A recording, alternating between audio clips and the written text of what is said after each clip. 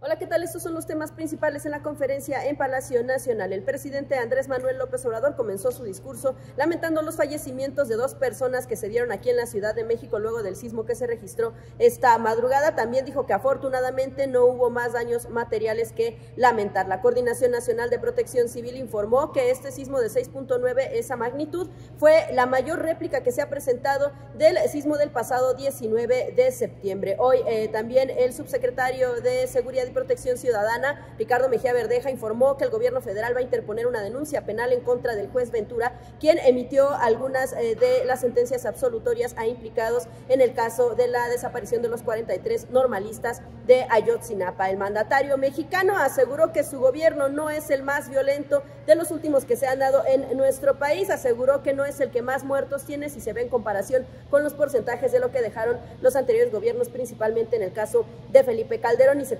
a que van a seguir eh, con la reducción de estas cifras. También hoy el mandatario mexicano respondió a los señalamientos del gobernador de Texas, Greg Abbott, eh, quien quiere llamar a los cárteles mexicanos como terroristas. Dice el presidente que eso solamente se entiende porque es un tema electoral que está tratando de utilizar ahí en Estados Unidos y que también, bueno, pues por las próximas elecciones está buscando maltratar a los migrantes. Dice el presidente que eso no lo van a permitir. Finalmente, en torno al tema de eh, las Fuerzas Armadas, la ampliación de sus labores en materia de de Seguridad Pública hasta 2028, dice el presidente que él tiene información de que solamente les falta un voto para que pase, pero que él estaba a favor de que ayer se pudiera dictaminar, que se pudiera votar y que en todo caso si se desechaba él está acostumbrado y que además volvería a presentar esa iniciativa más adelante dejando pasar un tiempo, pero bueno, pues es una iniciativa que hay que recordar es del PRI, no de Morena. Estos fueron los temas principales en la conferencia en Palacio Nacional para Proceso Dalila Escobar.